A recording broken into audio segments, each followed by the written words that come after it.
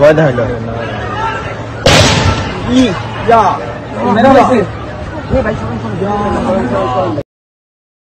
Assalamu alaikum everyone. This is Sam. Welcome back Sam the Traveler and welcome to new blog. স্বাধীন বাংলাদেশে আপনাদের সবাইকে স্বাগতম। আজকে ছয় তারিখ গতকাল ছিল পাঁচই আগস্ট দ্বিতীয় আরেকবার স্বাধীন হই। একটা কথা বারবার আমার মাথায় আসতেছে সেটা হচ্ছে স্বাধীনতা অর্জনের থেকে স্বাধীনতা রক্ষা করাটা কঠিন।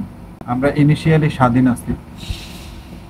কিন্তু এই জিনিসটাকে শক্ত হাতে যদি রক্ষা না করতে পারি সঠিক রাস্তায় পরিচালনা না করতে পারি, সেক্ষেত্রে আমাদের জন্য অনেক বড় একটা ঝামেলা নিয়ে আসবে। এই কতদিন আসলে মোটামুটি টুকটাক আমি যতটুকুই পারছি, আমি ছিলাম আসলে ছাত্রদের সাথে ছিলাম, তাদের আন্দোলনের মধ্যে ছিলাম। এটা না করলে আসলে মানে নিজে কেন শান্তি পাইতেছিলাম না। আমি বরাবরই অরাজনৈতিক একজন মানুষ। আমি আসলে কোনো রাজনীতির সাথে আমি ইনক্লুডেড না। যখন আমি দেখলাম যে আবু সাইদের মতন একজন স্টুডেন্ট সে পুলিশের সামনে বুকটা পেতে দিয়েছে। তো এইটা এখন পর্যন্ত ভাবলেও আমার মানে ভেতরটা কেমন যেন লাগে। কত আদরে ভালোবেসেছি। আবু সাইদের এই মৃত্যুটা দেখার পরে এটা ছিল আমার একটা প্রথম ধাক্কা। তো তারপরের দ্বিতীয় ধাক্কাটা ছিল হচ্ছে মুগ্ধ, পানি পানি, কারও লাগবে পানি পানি লাগবে কারও? এই যে কথাটা। এই জিনিসটা আমার এখনও মাঝে মাঝে কানে বাজে যে আগুন জ্বালাও আগুন জ্বালাও আরে পানি লাগবে কারণ পানি পানি পানি পানি তো তারপরে আমি আমার অফিসের মাঝে যতটুকু পারছি আমি আসলে ছাত্রদের সাথে সময় দেওয়ার চেষ্টা করছি। কারণ পুরো টাইমটা আমি দিতে পারি নাই কারণ যেহেতু আমি একজন জব হোল্ডার তো সেক্ষেত্রে আমার পুরো টাইম দেওয়াটা আসলে পসিবল ছিল না। কাপড় দিতেছে না? কাপড় ঠিক আছে কাপড় আছে গুড শাবাশ বিজয় ইনশাল্লাহ আমাদেরই। ঘরে পলা রইছে কেমন দেখছ? কিছু করার নাই ভাই। ভাই আম গো কি? করব কোন? হ্যালো কমত তোর ভাই। বাচ্চা বাস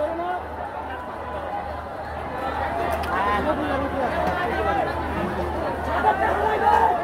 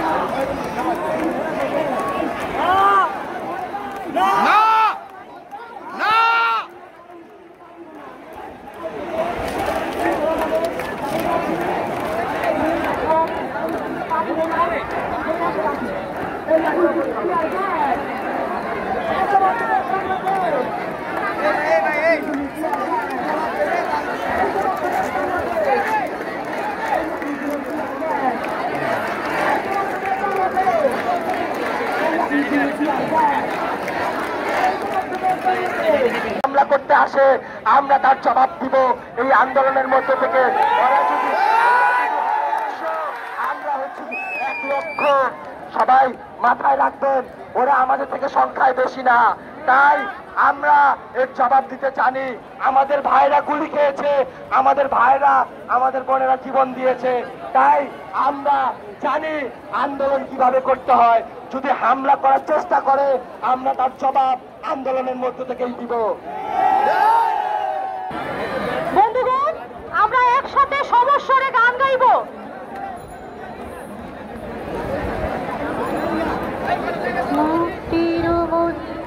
সোপান তরে কত প্রাণ হলো বলিদান আছে অশ্রু জলে মুক্তির মন্দির সোপান তরে কত প্রাণ হলো বলিদান আছে অশ্রু জলে কত বিপ্লবী বন্ধুর বন্দিশালার ওই শিকল ভাঙা, কত বিপ্লবী বন্ধুর রক্তে রাঙা। বন্দিশালার ওই শিকল ভাঙা, তারা কি ফিরবে আর? তারা কি ফিরবে আর সুপ্রভাতে? কত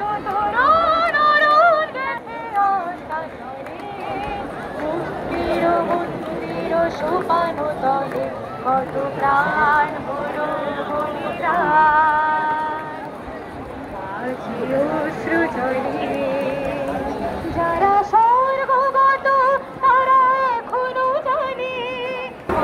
আন্দোলনকে কীভাবে দমাবে গতকাল স্বরাষ্ট্রমন্ত্রীর একটা প্রেস ব্রিফিং এ দেখলাম, যদি বাংলাদেশের জনগণ চায়, তারা পদত্যাগ করবে, ফলে নাকি পদক্ষেপ পদত্যাগ করবে। কিন্তু এখানে যারা আছে, এই যে এত জনতা, এরা কি জনগণ না?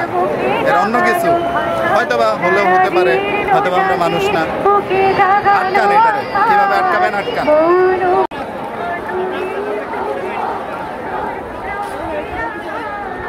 লাল রক্ত লাল দিগন্তে সূর্য উঠেছে। রক্ত লাল রক্ত লাল রক্ত লাল জোয়ার উঠেছে। রক্ত লাল রক্ত লাল রক্ত লাল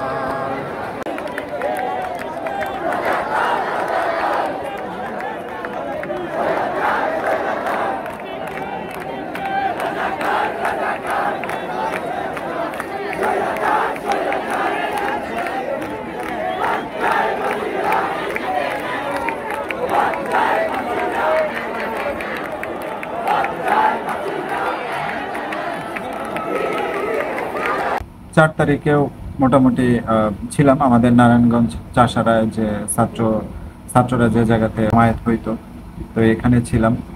তো এখানে যতটুকু পারছি প্রায় আমার দুপুরে প্রায় দুই থেকে তিন ঘণ্টার মতন সময় থাকে লাঞ্চ আওয়ার তো এই সময়টা আমি মূলত ওইখানে দেওয়ার চেষ্টা করছি। সম্ভবত একটা ইতিহাসের সাক্ষী হতে যাচ্ছি। এই যে মিছিল কারফিউ ভেঙে মিছিলের অগ্রভাগ এসেছে বনানীতে। কাকুলির যেই ফুটওভার ব্রিজ রয়েছে সেখানে। পেছনে যতদূর চোখ যায় শুধু মানুষ আর মানুষ। আমরা খোঁজ নিয়ে জেনেছি এই মিছিলের পেছন টঙ্গী পর্যন্ত। অর্থাৎ কত লক্ষ মানুষ এই মিছিলে সামিল হয়েছে সেটি আসলে অনুমান করা খুবই দুঃসাধ্য। অনেকেই অনেকেই অনেক কিছুর সঙ্গে উদাহরণ দিয়ে থাকেন। তবে আমরা বাউন্ন দেখিনি, একাত্তর দেখিনি, আমরা চব্বিশ দেখেছি, মানুষের ঢল। আমরা কিছুক্ষণ আগে এখানে অসংখ্য পুলিশ দেখেছিলাম, কিন্তু মিছিলের এই ঢল দেখে কিন্তু তারা ইতিমধ্যেই সটকে পড়েছেন। মার্চ টু ঢাকাতে যাইতে পারি নাই, কারণ আমার সকালবেলা থেকে অফিস ছিল। তো আসলে এটা আফসোস না ঠিক। যারাই আপনারা বা আমরা যতটুকু পারছি সাপোর্ট দিচ্ছি আল্লাহর কাছে দোয়া করছি, যাতে এই শাসক থেকে আমাদেরকে উদ্ধার করে।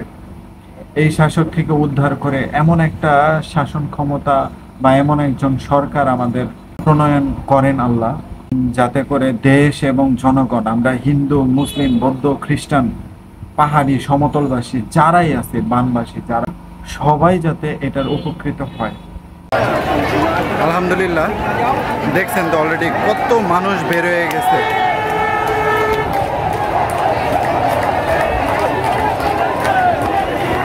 সব মানুষগুলো রাস্তায় বের হয়ে গেছে। আপনি একবার একটু মানে ইমাজিন করেন যে প্রত্যেকটা মানুষের ভেতরে কোন লেভেলের ক্ষোভ ছিল। যার ফলে যখন শেখ হাসিনা, প্রধানমন্ত্রীরা যখন দেশ ছেড়ে চলে গেল, তারপরে পুরো রাস্তা, এখন কিন্তু কারফিউ চলতেছে।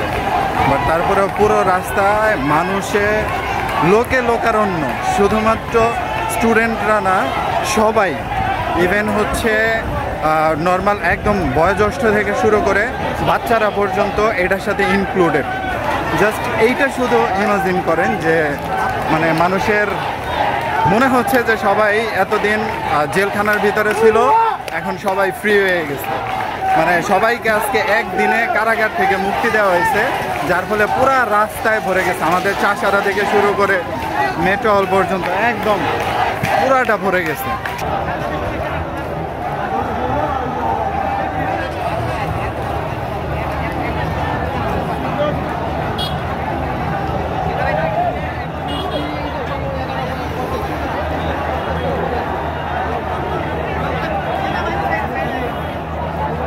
জনতার উচ্ছ্বাস দেখে যে কেউ ভাবতে পারে, এটা শুধু বিজয় না, অনেক কিছু। এই বিজয় বলার মতন না।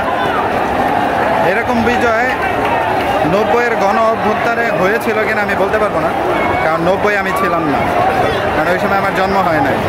কিন্তু চব্বিশের এই গণ অভ্যুত্থান দেখে বোঝা যাচ্ছে যে মানুষ কতটা উচ্ছ্বসিত। কতটা উচ্ছ্বসিত? আজকে সব ফ্রি সব মুক্ত। এখানে মানুষগুলোকে দেখে মনে হচ্ছে মুক্ত, ডানা মুক্ত হয়ে গেছে, সবাই উঠতেছে। সবাই উঠতেছে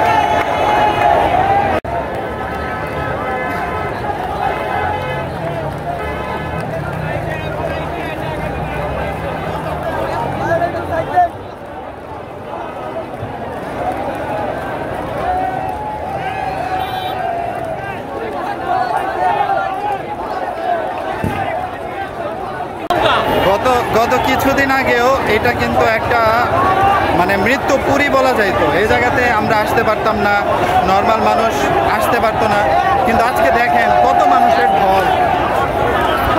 শুধু তাই না, যেটা যুদ্ধক্ষেত্র ছিল, আজকে সেই জায়গাতে বিজয় উল্লাস করা হইতেছে। এরকম উল্লাস একাত্তরে, একাত্তরের পরে আর হয়েছে কিনা ঠিক বলতে পারব না। কিন্তু এটা আমাদের কাছে, নতুন প্রজন্মের কাছে এটা প্রথম, এটা নতুন। এই জন্য সবাই বের হয়ে গেছে। কিন্তু দেখেন, অবশেষে বিজয় হয়েছে। কিন্তু আমি খুব অবাক হয়ে গেছি যখন গণভবনে মানুষ গণভবনে ঢুকে মানুষগুলা মানে এটাকে লুটপাটি বলা চলে। যার যা মন চায় সব নিয়ে যাইতেছিল। সংসদ ভবনের ভিতরে ঢুকছে, ঢুকে সংসদ ভবনের যে মেইন এরিয়াটা এখানে যে যেমনে পারছে সব মানে মানে কি একটা অবস্থা। দেখেন এখানে সবাই যে যা পারতেছে নিয়ে যাইতেছে। এই যে এক ভাই এলইডি নিয়ে যাইতেছে। অক্ষত আছে এলইডিটা এখনও।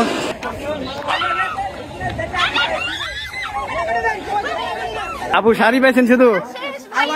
আর কিছু পান নাই? কি করবেন এটা দিয়ে?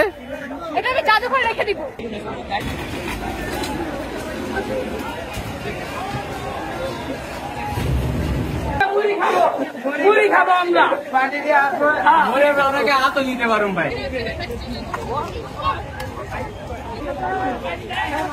আমি জাদুঘরে রেখে দিব পুরি খাব আমরা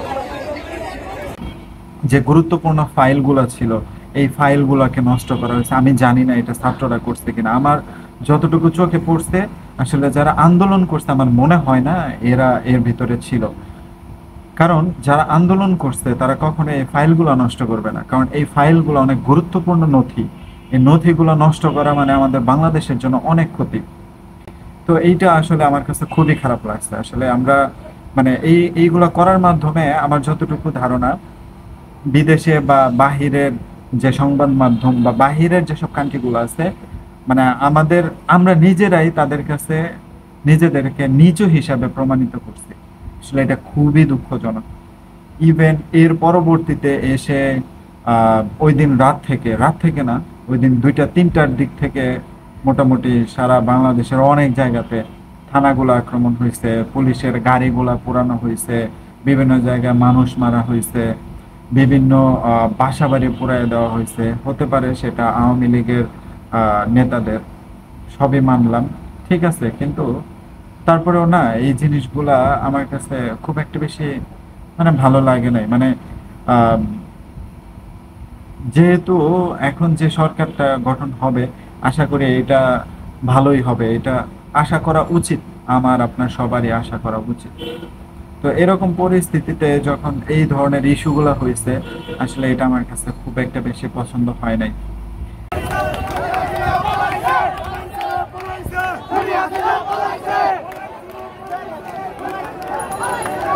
আর তৃতীয়ত আর একটা বিষয় হলো, যেহেতু বর্তমানে থানাগুলো আপাতত অচল অবস্থায় আছে, অর্থাৎ আইন শৃঙ্খলার কোনো সাপোর্ট আমরা পাবো না।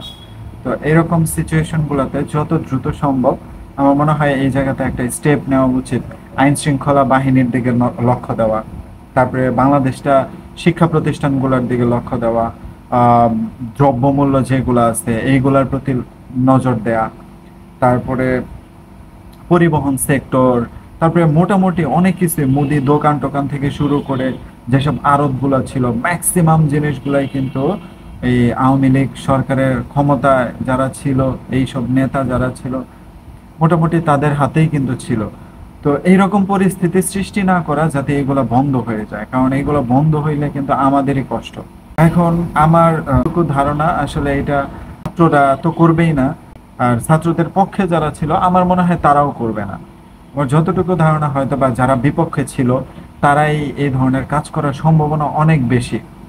তো আসলে আমরা চাই যত দ্রুত সম্ভব দেশের এক দুই দিনের ভিতরে এনি হাউ দেশের প্রত্যেকটা আইন শৃঙ্খলা বাহিনী তার নর্মাল পজিশনে ফিরে আসুক আর্মি মোতায়েন হোক, না হলে এই পজিশন থেকে কিন্তু ব্যাক করা সম্ভব না। এটা খুবই জরুরি, কারণ রক্ত দিয়ে দেশটা দ্বিতীয়বার স্বাধীন করছে।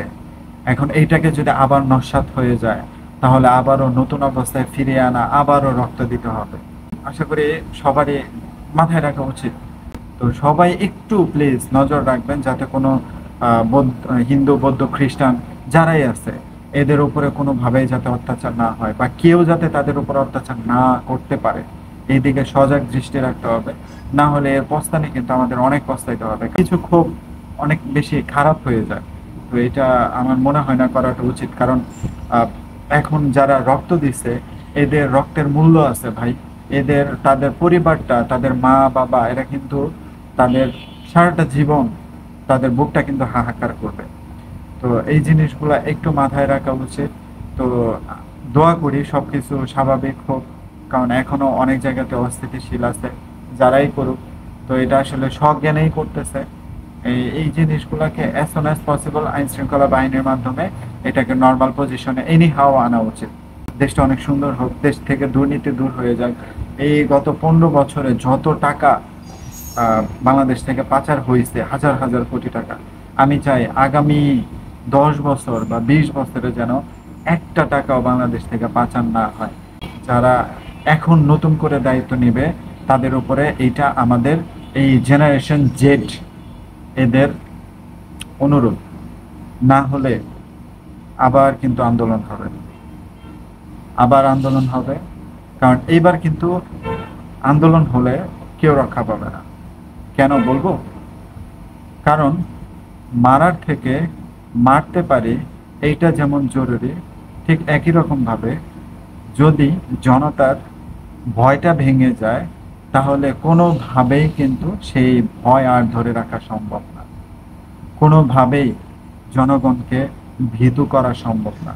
কোনোভাবেই এই জেনারেশন জেড বর্তমান যে আমরা যারা আছি, যারা কলেজ, ইউনিভার্সিটিতে পড়াশোনা করতেছে, এদেরকেও কিন্তু দমিয়ে রাখা সম্ভব না।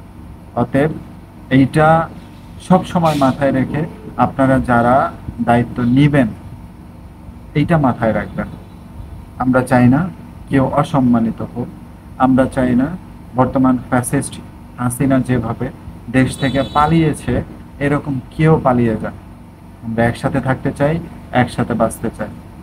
আমরা আমাদের দেশেই মরতে চাই। তো এই ছিল আমার ভিডিও। যদি ভিডিওতে কোনো কিছু ভুল বলে থাকি প্লিজ আমাকে ক্ষমা করে দিবেন। আমার এই বাংলাদেশটা যাতে অনেক সুন্দর হয়। এই দোয়া রাখি। আসসালামু আলাইকুম। ভালো থাকবেন সবাই।